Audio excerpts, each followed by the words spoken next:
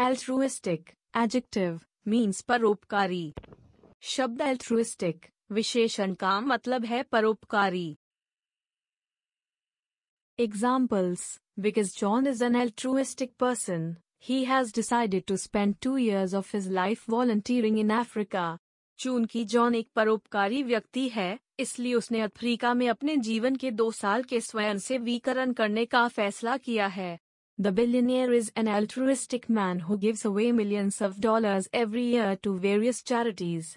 अरबपति एक परोपकारी व्यक्ति है जो विभिन्न दानों को हर साल लाखों डॉलर देता है अगर ये वीडियो आपके लिए हेल्पफुल रहा तो आप इस वीडियो को लाइक ज़रूर करें और ऐसे ही रोज़ इंग्लिश के नए वर्ड्स और उनकी मीनिंग सीखने के लिए हमारे चैनल को सब्सक्राइब करें और बेल आइकन ज़रूर दबाएँ